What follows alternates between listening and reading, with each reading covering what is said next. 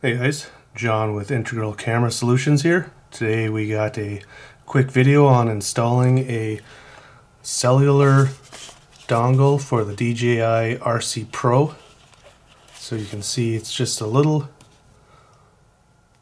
you know USB thumb drive sized device.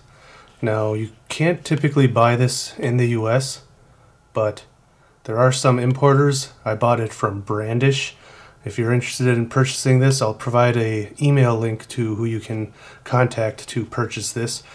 But the point of this is to be able to have the internet on your controller without having to connect to your mobile hotspot. Now, it is about $200. A lot of people might say that's not worth it. Personally, I just didn't want to have to deal with using a phone hotspot. And the main reason I use this is I do use the RTK attachment for the DJI Mavic 3T, the thermal drone. So that's an enterprise drone that allows you to attach different uh, accessories to the top. So that's not available for the uh, standard Mavic 3 series for photographers, but uh, I'm pretty sure this would work in that also. First thing, let's take a look at this little dongle. Uh, you can see there's little cover over here. You can see 4G on one side. I'm not sure what that is for, but we will be connecting that. And then there's a USB-C port on that side. And what's going to happen is we're going to take this back cover off. And this is going to go inside. But first, let's get the uh, SIM card in. And you can see the little icon that shows which direction it's going to go in. So I have a T-Mobile SIM card. Alright, so it's installed.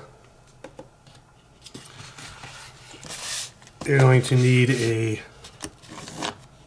six millimeter, or sorry, number six Torx bit.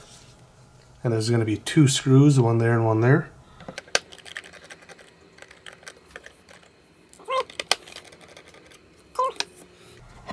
And we'll this up. There's actually a little notch right there. You can see where you lift up on it. Okay, from here, up close, you can see there's the USB-C. This is the plug that's going to go into the 4G port. And it's a lot easier if you plug this in first.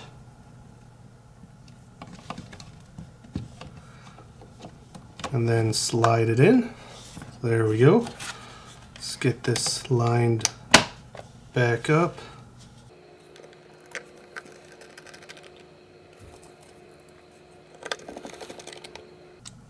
All right, let's turn her on.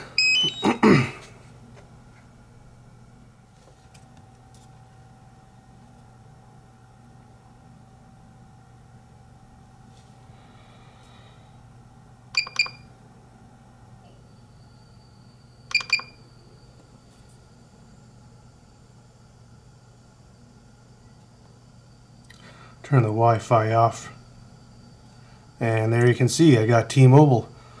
So just to prove that it's working let's just go to DJI.com